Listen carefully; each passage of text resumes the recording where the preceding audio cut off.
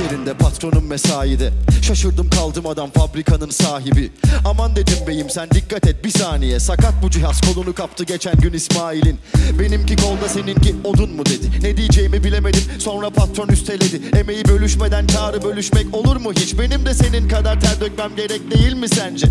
Birden uyandım çok şükür ki rüyaymış. Kapının önüne koyarlardı duysalar bu rüyamı Nankörlük etme derler karnını Doyuranın sabrını zorlamada gidişine bak lan. Enayi Girdi bir kere beynime. Tehlikeli bu fikirler. Açım ellerim nasır. 3 ay sonra bilinmez. Minimum 12 saat 6 gün. Saati 4 liradan gece gündüz çalışıp da kolay kolay gülünmez. Oturdum hesap ettim. Nasılsa bugün pazar. Nasılsa bugün nüfus cüzdanımda adım yazar. Oturdum hesap ettim. Bomba oldu beynim iyice eşitlikmiş adaletmiş. Kusura bakma hepsi masal.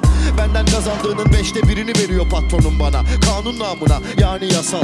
Her gün pirzola yenmez de bari ayda bir yesek. Çok mu şey istiyor sence lan? Boş bu kazan? Babam sormuş 1977 yılında. Neden çalışanlar açta çalıştıranlar tuhaf? Çok konuşma demişler Taksim meydanında. Sen çalış sus ve şükret mümkünse kork. Ben de sustum ve şükrettim bayağı da korktum. Ne olduysa birden kafamda kıyamet koptu. Bir hayalet dolaşıyordu yatak odamda belki de. Sor diye fısıldadı bana ve ben de sordum. Neden hep biz öldük? Neden hep biz öldük? Neden hep biz öldük? Neden hep biz öldük? Neden hep biz öldük? Neden hep biz öldük?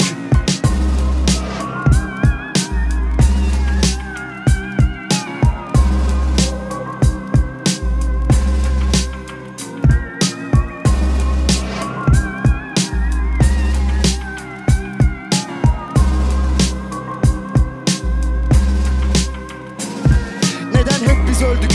Hep biz öldük. Kefenimizde oldu bazen mavi önlük. Günde 12 saat çalıştıysak 12 dakika güldük. 12 saat çalıştıysak 12 dakika güldük. Neden hep biz öldük? Hep biz öldük.